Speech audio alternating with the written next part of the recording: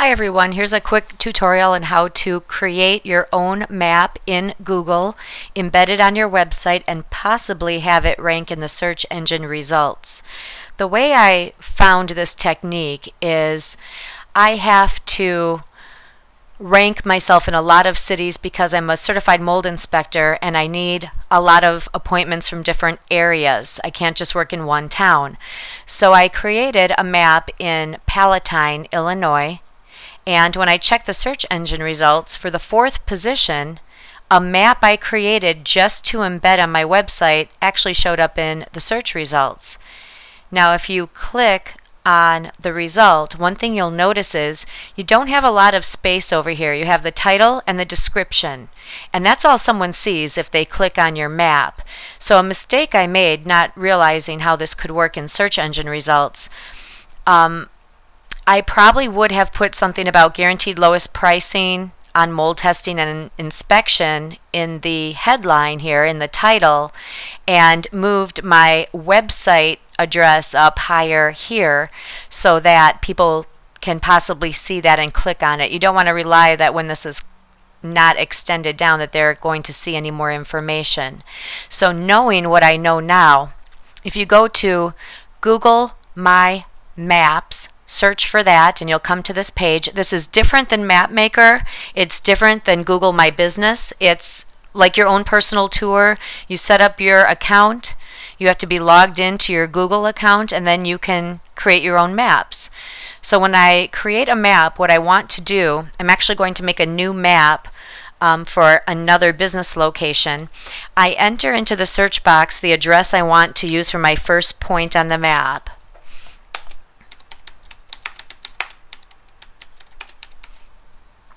There it is.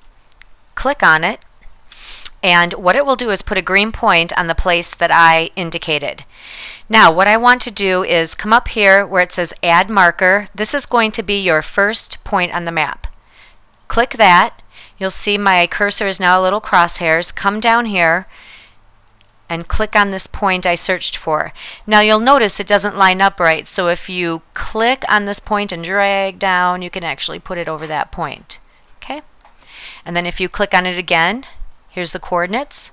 I can hit edit. Right now it's just called point one with no description. So I hit edit. Now remember, you don't have a lot of space that people can see when they see this um, on the search results. So here's something I'd like to do. Lowest rate mold inspection. And my phone number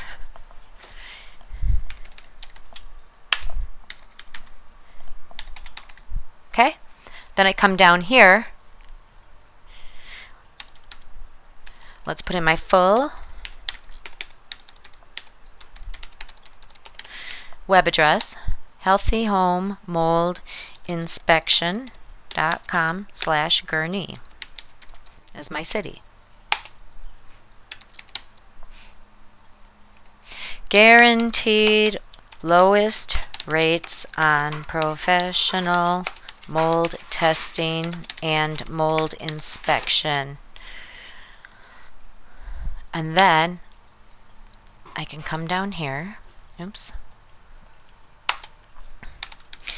And what I'm trying to do here, Healthy Home Mold Inspection, 5250 Grand Ave, number 14 trying to get a little citation boost here by putting my name, address, phone number in here. And again, what I'm going to do is put my phone number again at the bottom because people aren't going to see a lot of this down here. So what I want to do is stuff this with keywords for ranking purposes.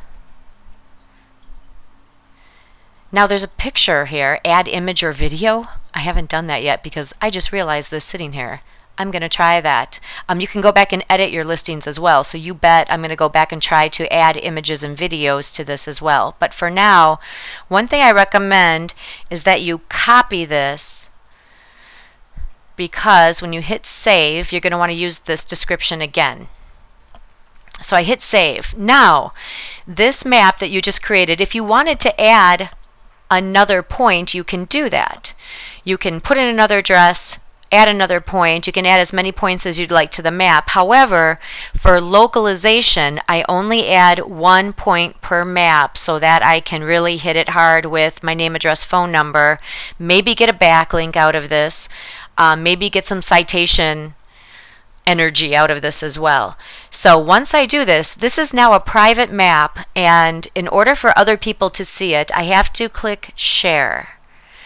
Now, it's got add a name and description before sharing, so I want to paste that description I had. Lowest rate mold inspection. And again, my phone number again, 558 1022. Okay? So that's great. So that's the description. Now, it's private who has access. So I say change public on the web, save that. And that's it. You click done.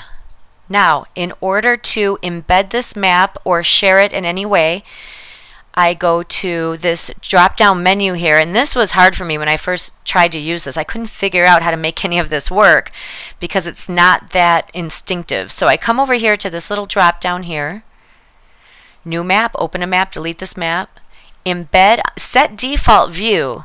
I believe you can keep it from scrolling all over the place, but what I want to do is embed on my site. Here's your iframe code. So I hit Control C on my Windows computer, come up here, edit page. Now here is a web page, okay?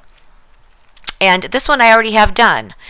In my theme, what I am able to do is, let me enter down here. If I put my cursor somewhere and I come up here, there's an icon for, it looks like a little film reel, video iframe shortcode. If I click on that, it brings up a dialog box where I can paste that iframe code, specify the width of that map, and insert. Now I've already inserted a map on this page, so what I'm actually going to do is show you that page. So here is where, here's my page for Palatine, my goofy little video, my images, and when you get down here, there's that map, and it's actually a dynamic map if you can move around on it. And like I said, that's all I did. I created the map using my maps. I embedded it on my website. I didn't really do a lot to promote this web page in the search results because I just haven't had time. And accidentally, I saw where this has this map has ranked. So I hope this video helps you um, get some more listings on the first page of Google search results. And if you have any other suggestions of how this can be used, please message me on the Facebook page. Thank you.